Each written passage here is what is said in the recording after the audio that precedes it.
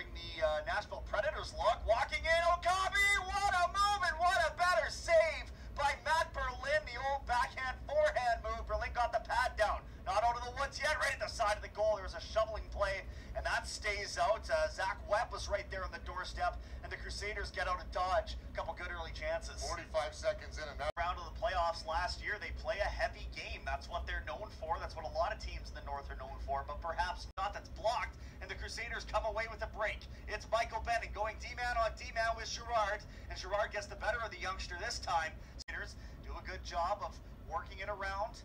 Nice pickup by Atwell right at the blue line. He runs into a couple of bodies, and it's turned around the hit. Whether that is dropping the gloves or or if he's going to play offense like we just saw on that shift, maybe he finds the back of the net, but he needs to spark this team right now as they're stuck four. And we're slot area, whacked at it a couple times, did Xavier Pouliot. Girard on the backhand, leaves it for Pouliot. Tipped in front, look at the set of hands on Hamley. Thoughts of a hat trick in the first half of the game. Franchuk gets dumped.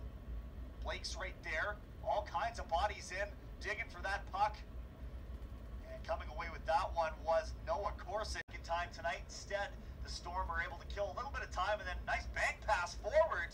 Berlin comes away and they do get it out of the zone. That was interesting, Murakami. That's almost a, an unsportsmanlike conduct play, faking a check like that. Cross ice feed broken up by Girard. Girard must. I, we don't have an official minutes tracker on anybody, obviously, at the AJHL level, but Girard has been out there basically every second shift. yeah, without Milo, William, you guys has to win that job, and you're the veteran. I expect you to win it. I need you to be good the rest of the stretch.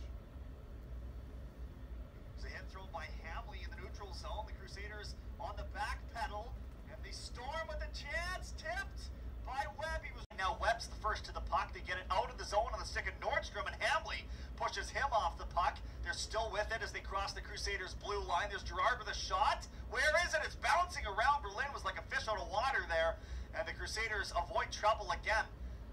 A huge body presence. Was that Girard again that just absolutely destroyed Savoy Oh, as they were chasing the loose puck? Savoy tripped, and then he almost tripped over the Oh, official. okay. Is that... that was on the stick of Osepchuk, who had the first goal for the Storm up on the board. Girard, I don't know how he's not tired yet because he has been on the ice almost the entire night, it feels like. We can't quit saying his name. Another shot and cleared away by the Crusaders, but a good job to hold the line by McIsaac. He was traded in the get out to the far blue line. Winchester was right there. He's getting a lot of run here in the final couple of minutes. And you, I think for, I think for a specific. He's out there to police the situation. The funny thing is, is he, when he came here, he was putting up points at quite an impressive clip, and now he's fallen back into that role of resident tough guy. Well, it's also the role of General Manager Kyle Chase went out and loaded up on the talent-heavy offense. Uproots his former teammate Jake Franchuk. Referees have let quite a bit of stuff go here. Nordstrom, there's a shot coming off the wing, and again the Crusaders seem to just get the bounce when they need to get the bounce. That was nowhere near the goal.